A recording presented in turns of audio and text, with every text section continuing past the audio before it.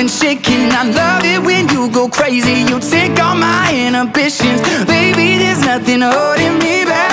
Despacito, quiero respirar tu cuello despacito. Deja que te diga cosas al oído. Para que te acuerdes si no estás conmigo. Hey guys, it's Kimberly. Welcome back to my channel. In today's video, I'm going to be doing my DIY school supplies for 2017. This video everyone always requests me to do after I post my school supplies haul and I love doing DIYs. I love school supplies. I hate going back to school but I love school supplies. So I thought it'd be a great idea to do this video. If you guys are new to my channel, make sure to hit that subscribe button right down below and give this video a thumbs up if you enjoyed it. Also, if you want to go check out my other back to school videos I've already posted, make sure to go check them out. They're on my channel right now. Just click on my channel, click on the videos and you're good. And without further ado, let's just get started. For the first DIY, we are going to be making these bookmarks. I'm going to show you two different types of bookmarks, so let's get started. You're going to be needing some paper clips. I'm using these pink ones by Yoobi. And what you want to do is you want to take the paper clip and bend it into the shape of a heart for the first one. This looks kind of hard, but it's actually really easy. If you bend it down a little bit, you'll get into the shape of a heart, and then you just use it to bookmark your pages, just like that. And it's really easy and it's really cute. Sorry,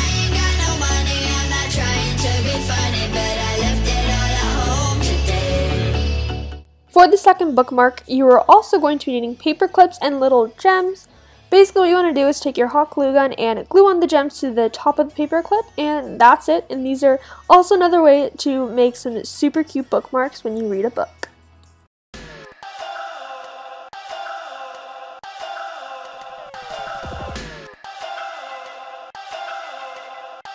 For the second DIY, we are going to be making a fidget spinner notebook for when you're bored in class. You are only going to need a fidget spinner and a notebook, and all you want to do is take the center of your fidget spinner and put some hot glue and stick it right on the notebook.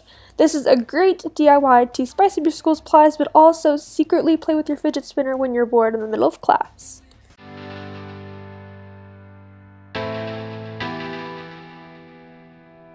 We will be making these decorated pencils, which you guys probably already saw before from previous videos, but whatever. You're going to be needing some pencils and some washi tape, and basically all you want to do is take your washi tape and put it right on the middle part of the pencil, and then that's it. This is a great way to turn a boring pencil into something fun and cute.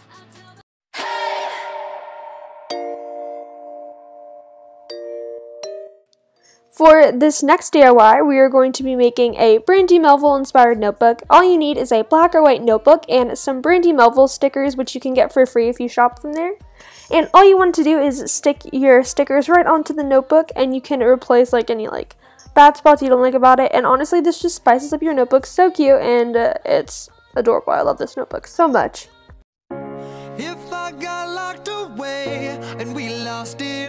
In this DIY, we will be making some donut tab dividers.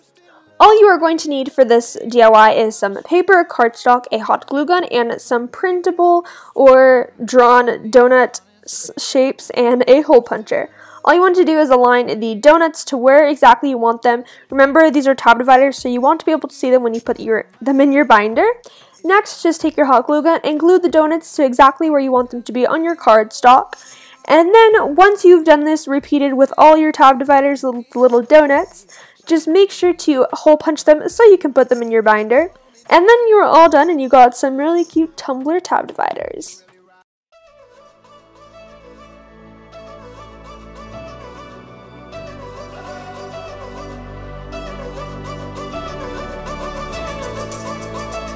Next, we will be making the geometric notebook, and all you're going to need for this notebook is some tab dividers or cardstock, a notebook, and a pair of scissors. Begin by tracing out a triangle or whatever shape you'd like. I'm doing triangles, and I used a ruler for this, but you don't have to. And then cut the exact same triangle out as many times as you think you need for your notebook, depending on your size.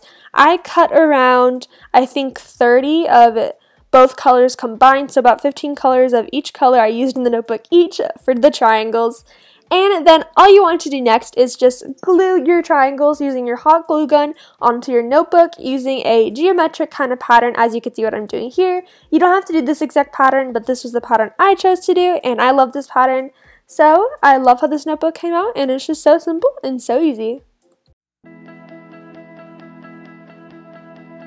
Down to earth. Keep on falling when I know it hurts. Going in this DIY, we will be making a sticky note to-do list. All you are going to need is some cardstock, some sticky notes, and a marker of your choice, of course. And at the top, just write to do in a in your markers. And all you want to do is, after that, take your sticky notes and on each sticky note, write each day of the week. I'm doing Monday through Sunday, so Monday, Tuesday, Wednesday, Thursday, Friday, and Saturday, and Sunday. And just repeat this as many times as needed. I did Saturday and Sunday on the same sticky note, but you don't have to. Then I took each sticky note and I put it on the piece of paper, and so then each day of the week you can write whatever you need to do, and you can reuse this for every week that you have stuff to do, and it's just so cute and so easy to do.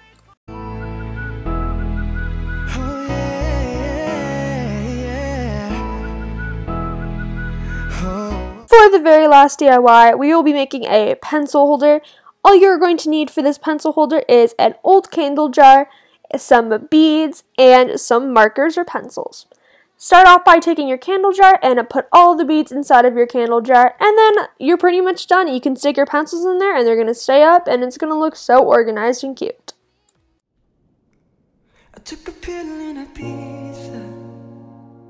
You guys, so much for watching that video. I really hope you guys enjoyed it. Please give it a thumbs up and subscribe to my channel if you are new. I love you all so much, and I'll see you guys in my next video. Bye!